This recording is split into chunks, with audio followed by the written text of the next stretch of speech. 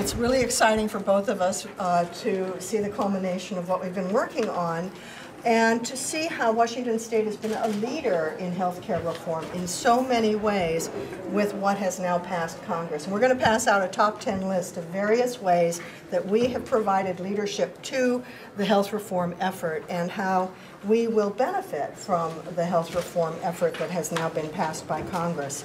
We have some immediate needs, and we just passed again the resolution this morning, the joint con uh, concurrent resolution, uh, to take on the issue of implementation. Many of the provisions of this bill go into effect in the next 90 days. We can't wait till our next legislative session. We have to get on top of what's going on as quickly as possible. So we'll be meeting jointly, the House and Senate committees and their staff, and we'll invite other parties to the table from, from the agencies, from the insurance commissioner, from the community to see how best we can implement the various pieces. This is huge and it will impact tens of thousands of people. It will impact our economy, and we will all be better for it, in my opinion.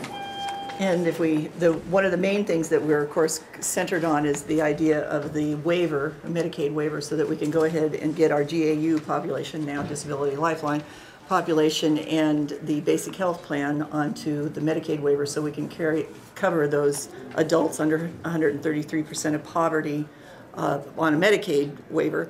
And that would save us, if, if we get it in place by January of this year, it's a, or January of the coming year, it will be $50 million. For the next biennium, it's up to $320 million. So that's a big reason for us to be excited about this, since we all know that the budget is what's keeping us here this long and that uh, a little money would help us out. That's a lot of money. And, and there are other pieces of, of the um, money trail that are very important to our state as well. Community health and rural health clinics will receive billions of dollars under this uh, reform package.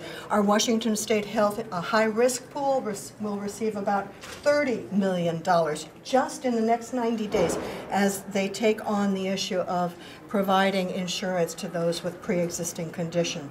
So there's all kinds of different ways that this will impact both our budget, our people, our providers. Uh, the Medicare uh, reimbursement that is going to be uh, equalized now, so our providers and hospitals will not be disadvantaged to other states. That will be hundreds of millions in reimbursement that will be increased to our doctors and to our hospitals over the next few years. That we have been having um, really just a, a, an equity um, issue for years because they've been reimbursed at such a low rate.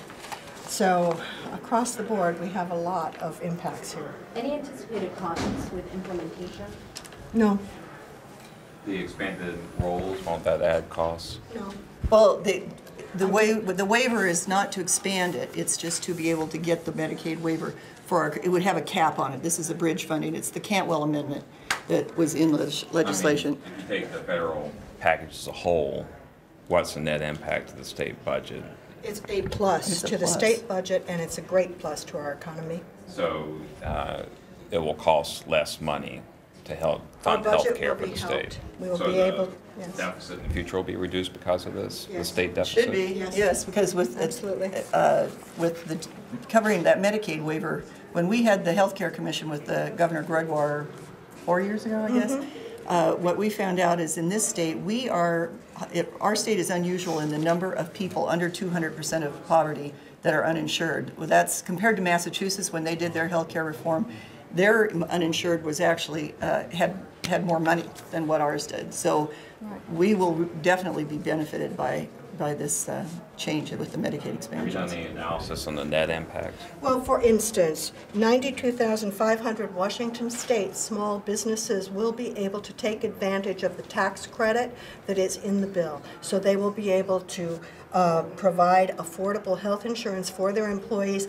and get a tax credit. Parents of 600,000 young adults will be able to extend their health coverage to their young adult up through the age of 26. So that's another huge population. You know, when your child graduates from college now and you lose coverage because the minute they're out of school, they lose their group coverage under your parental uh, coverage, anyone with a pre-existing condition uh, in their child knows the kind of panic that sets in then.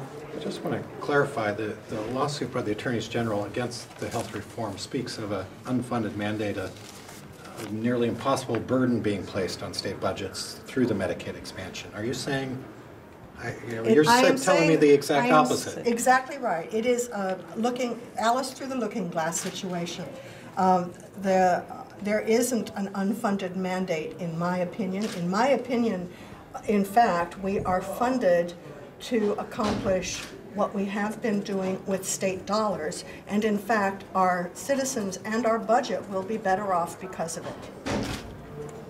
And one of the advantages of the, with the waiver request, that we- bridge funding that we're looking for before healthcare reform actually goes into effect, is that we are going to get credit for, on maintenance of effort of all the money that we have spent the- as a state, in state only. And that's, that's what's, we're so excited about. And one other thing to keep in mind, our state has been really on the forefront of healthcare reform. We have already um, a health insurance exchange operational as of next January, not 2014, but January of 2011.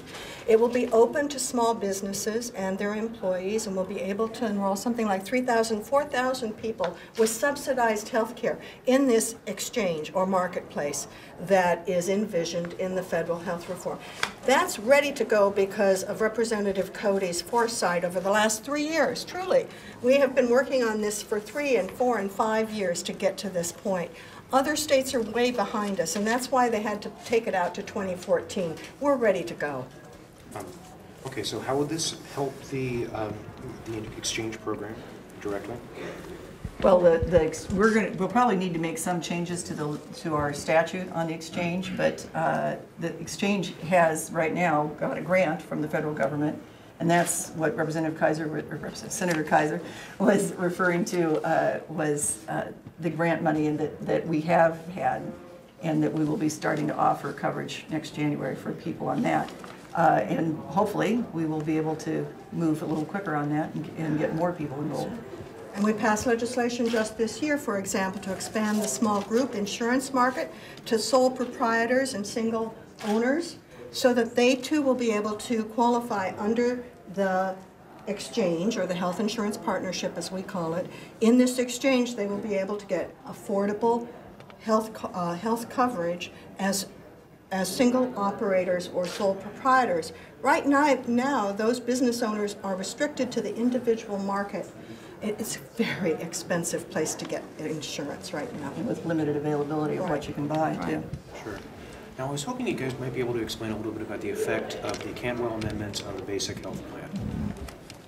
Which- Which part of it? Which Yeah. part, yeah. Yeah, there, there's two different sections, and the one is the waiver that we were talking about, uh, and that's, we, we refer to it as bridge funding, it's, uh, being- so that we would be able to be an early expander of a, up to 133, but, but we would have a cap, and so that's what we're negotiating.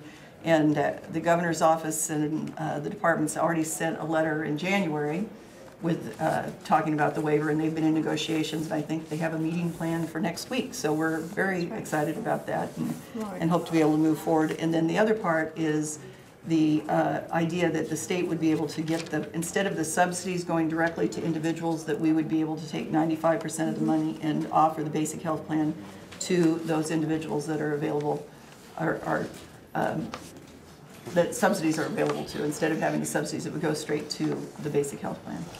In addition, the language means that any other state could start up a basic health plan such as ours. That's very important. That basic health plan has been a successful program for the last 20 years. It's, it's provided comprehensive health care at an affordable amount for tens of thousands of our citizens, and other states can now do it in a much uh, easier manner with this reform plan.